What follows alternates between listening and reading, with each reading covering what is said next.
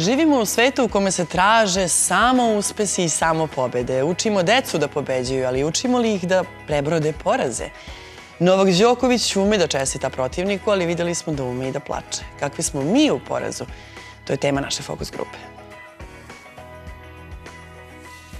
Stoji navijač Ofka Beograda, onda vam porazi dođu kao neka normalna stvar.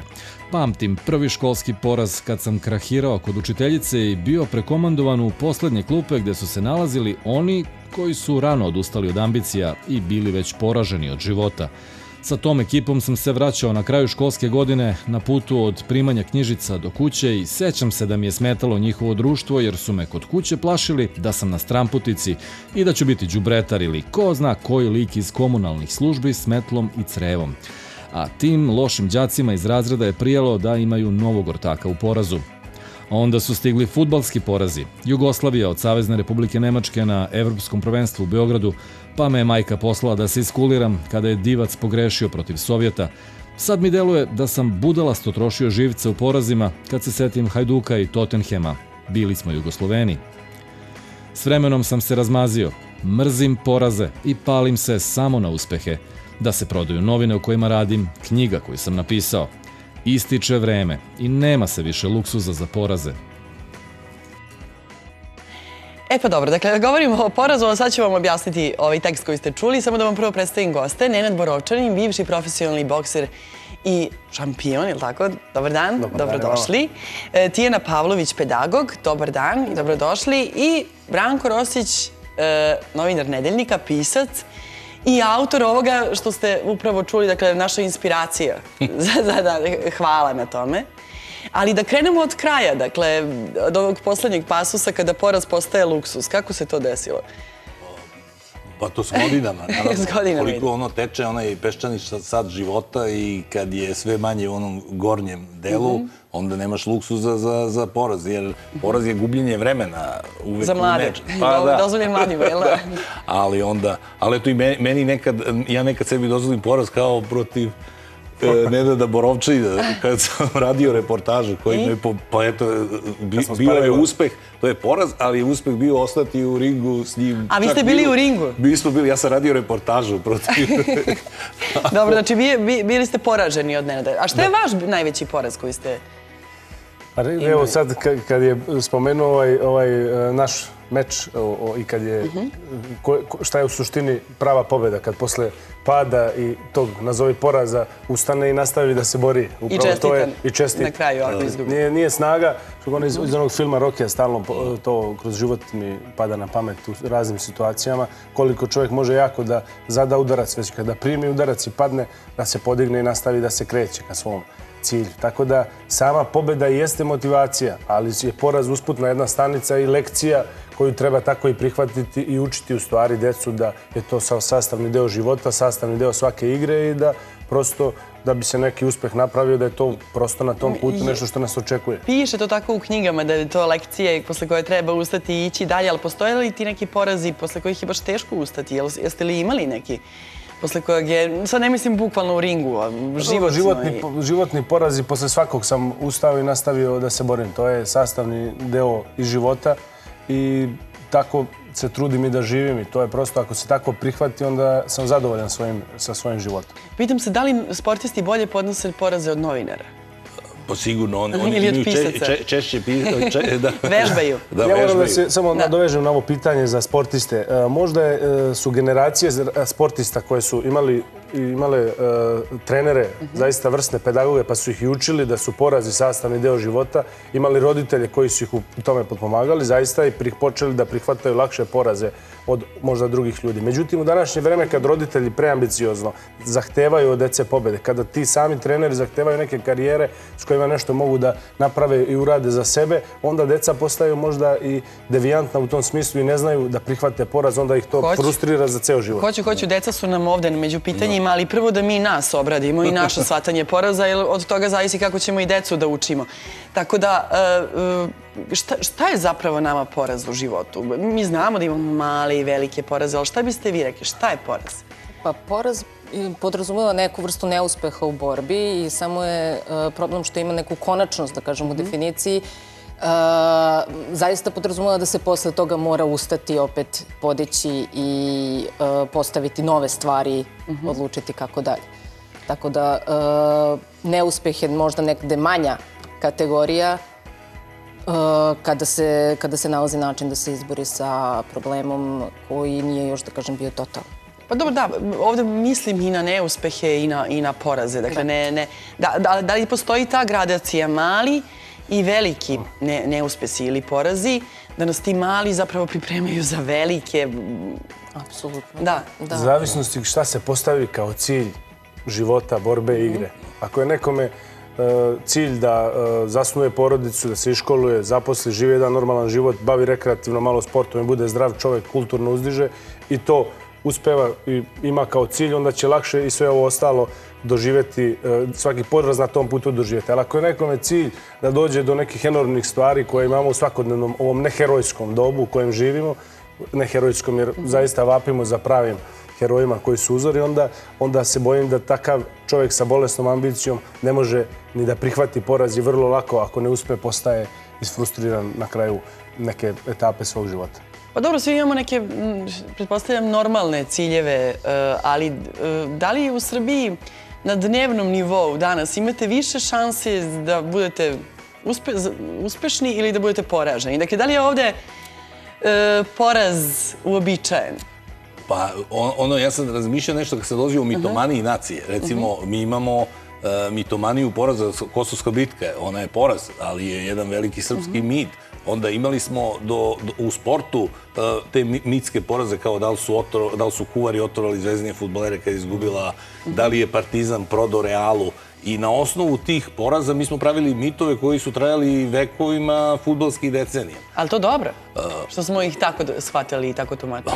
Možda to zdravo kao kondicija za poraz nacije je dobra. Imamo dobru kondiciju. Ali onda opet, kad se setim, pošto sam odostao u socijalizmu, onda smo imali kondiciju pobedama. Od, čas, od učbenika za geografiju gde mi imamo najviše ruda, da imamo najviše mhm. šuma, osim kad su došli mleci pa posekli Dalmaciju, naša obala je razuđena, italijanska ovo ono, i onda e, tamo na sutjesci je bio jedan na osam Nemaca, mi smo ono vaspitavani ne u porazu, nego u opštoj pobedi. Da. A onda od 90. kreće, naravno, ovaj, poraz kako lični, tako zemlje, tako celog društva. E, na, biti naviknut na poraz. Postoje dve stvari. Jedna je da imamo strah od poraza, a druga je da se nekako jednostavno naviknemo na, na, na strah. Može li se čovjek, koliko poraza čovjek treba da doživi u životu da postane gubitnik? Na primjer, prepostavljam da se svi toga plašimo. Pa ja mislim da je to više zavisi od samog čoveka kada sebe proceni da ne pa. može dalje da se digne. Mhm. I da to u stvari se vezuje negde za karakteristike ličnosti i može da se vezuje za neke okolnosti, ali generalno posle svakog poraza se može ustati, samo je pitanje da se proceni. Mhm. Ako postavimo, ako imamo pretpostavku da imamo normalne ciljeve i kad tim normalnim ciljevima gubitnik čovjek postaje onog momenta kad odustane. Dakle, nije bitno koliko mhm. poraz, opet kažem, svaki poraz može, ako se dobro u glavi razmotri, da se vidi zašto je neko nešto pogrešio, zašto je pao, zašto sam se okliznuo, pa daj da vidim kako ponovo da nastavim da koračam ka tom normalnom cilju. Kad onog momenta kad čovjek od toga odustane, on ja ne znam zašto... Onda se navika na poraz, onda je Onda živi jedan život onako po inerciji, ali to nema života, to je samo živ čovjek. Da. Kakvi ljudi teže prihvataju poraz? E, postoji li tipologija? Pošto ste sad rekli da Da, pa... Da li su pa- to egoisti? Da li su to naprotiv? Mm, da, pa postoji, mada, e, kako da kažem, više bi se oslonila na moje znanje koje se mhm. tiču dece mhm. i obično je vezano znači, za njihovo samopoštovanje, za njihove uh, porodične odnose, kakvi su, uh, za uopšte školske neke...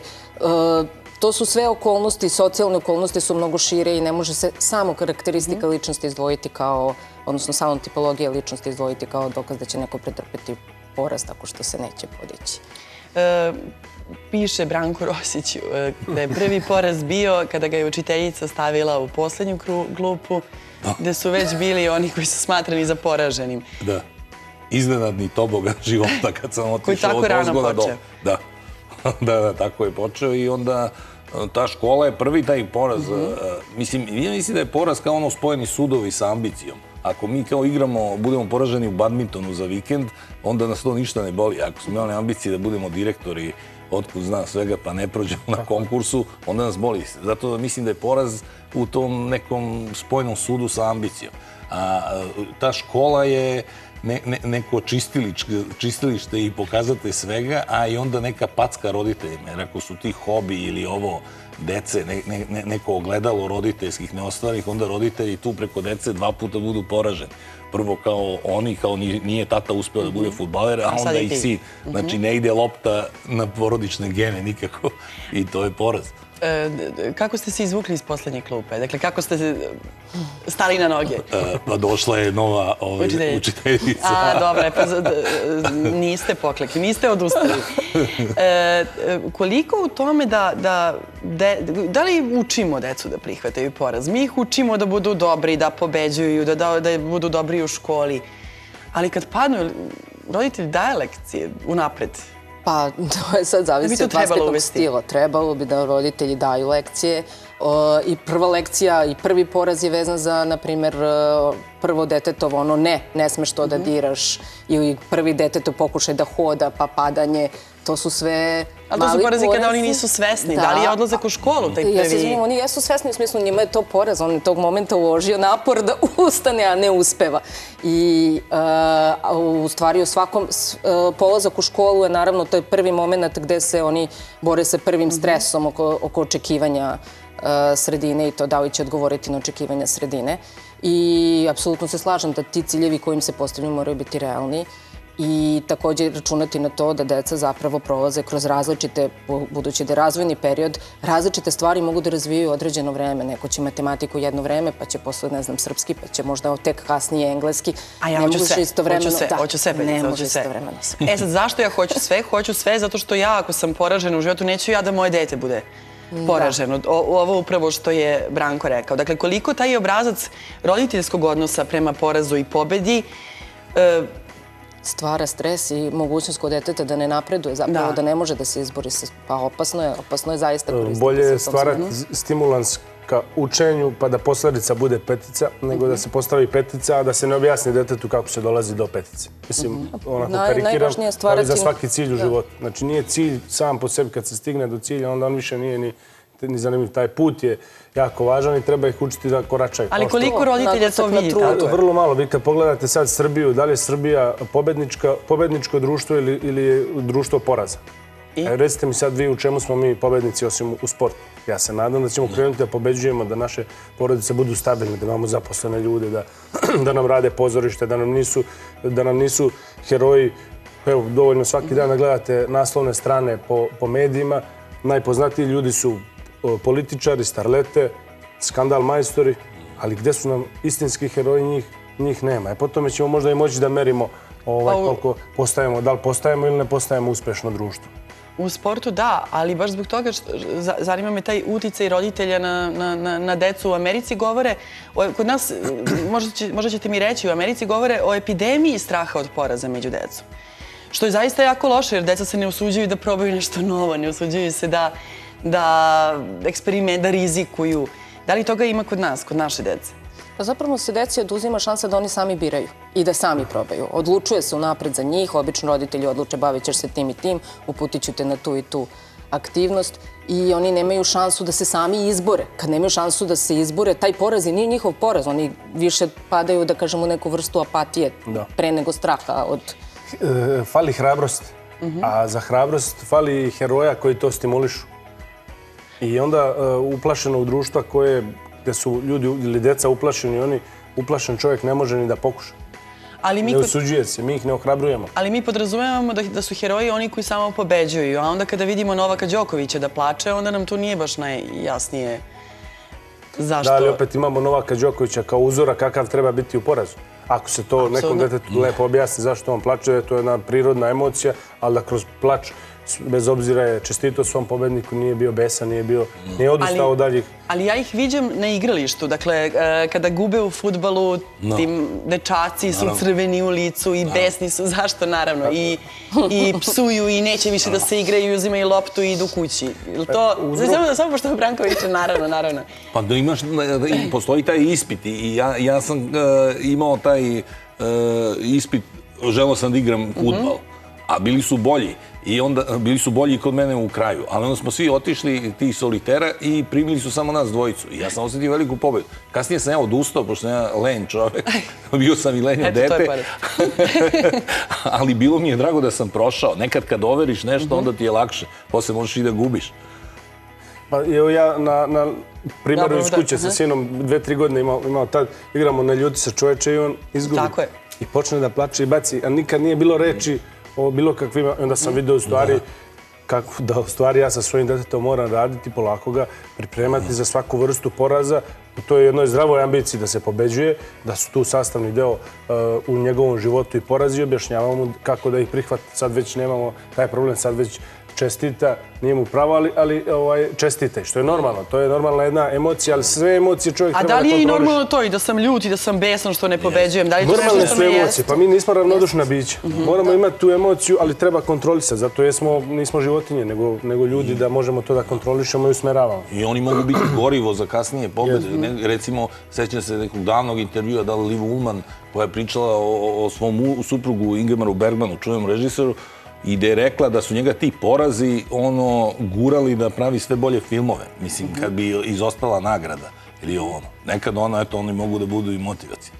E, Koliko često e, roditelji greše, dakle, ako igram čoveče, ne ljuti se sa mojim sinom, pa ga ja pustim da me pobedi, jer Pa to je voli da greška, pobeđuje. to je greška. Kad se trkamo, pustim ga da bude brži od mene, jer voli da pobeđuje. Dakle, koliko tu pravimo mi Upravo dete ih... treba da oseti šansu da može da izgubi i da može da pobedi i da e, nauči i da gubi i da pobeđuje, da ima i empatiju da pomogne onome ko je izgubio pa da ga uteši, a da ima i jačinu da, kako da kažem, da se sam izbori sa svojim gubitkom. A to može jedino ukoliko ima takve lekcije da mu se dopušta i da gubi i da pobeđuje.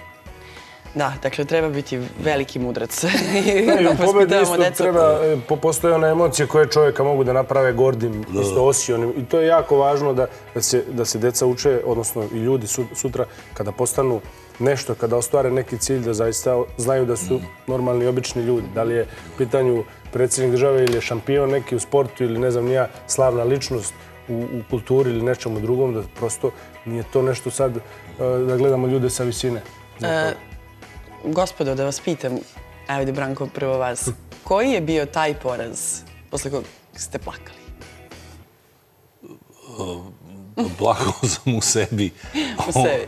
Ne, Pa jedan ozbiljan to zato što nisam ispunio očevu želju, recimo, za diplomom i da se ja sam diplomirao kad već on nije bio ni svestan. Kad je umro. A ovako u light poraze neke smešne, smatram što sam gubio vreme 90. gledajući emisije političkog tipa. Dobro, sve ćemo nije ostavilo traga. da, nije, Dobre. E, Pitam vas zato što sam čitajući naišla zapravo na podatak da je najzdraviji odgovor na poraz plač, zato što nas plač e, sprečava da mnogo mislimo i da se opterećujemo suvišnim analizama. Jeste li vi imali to? Pa naravno, to, Da, to je posle svaki čovjek poraza u posle sportu raznih se. Pa nisam u sportu, ja, ja u sportu se sve, moj sport je specifičan, pa se sve kaže u ringu oči u oči, onda nema, nema, Nema suze. prostora za suzu nikako, to je dato. Možda ovako kroz neke životne različite situacije i to je isto e, zdrava emocija.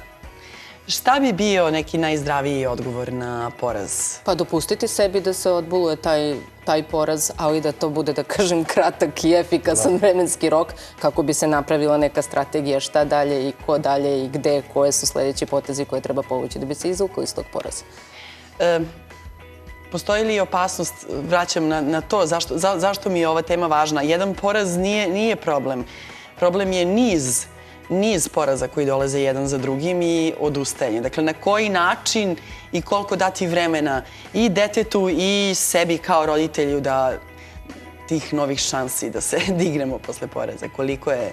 Pa ne smatram da postoji brojka, ne može da postoji neka brojka koja bi odredila koliko je potrebno da se, samo je Da potrebno smatramo ipak da se povuče i da se napravi možda mm, revidira da možda su postavljeni ciljevi neki koji su zapravo nedostižni i da bi trebalo ih smanjiti. Ja se setim onog domaćeg filma Danilo Bata Stojkovićino posle drugog svjetskog rata, pa kad kao pedagog gutaj suze, osmeh na lice. A to je, da, se s polja ne vidi. ne, mislim, ali Ili ne idemo mora da dalje. gutaj, nek se vidi, ali moramo napraviti to u životu, da idemo dalje, da imamo dobro, izgubio se, mojmo idemo, život ide dalje, nema, nema previše Koliko nam sujeta tu zapravo smeta? Pa ego je uvijek najveći neprijatelj u svemu čoveku. E. To je zaista, to čovjek treba da prepozna u sebi i da, ga, da naučimo dete da to prepoznaje i da živi jedan normalan život. I na kraju, da li kada poraz postane luksuz, život postane mnogo komplikovaniji? Ma, pa verovatno. Da, ili onda ziheraški idemo samo na pobede. da. Najlepše vam hvala što ste bili e, gosti emisije i hvala za tekst u nedeljniku. Hvala.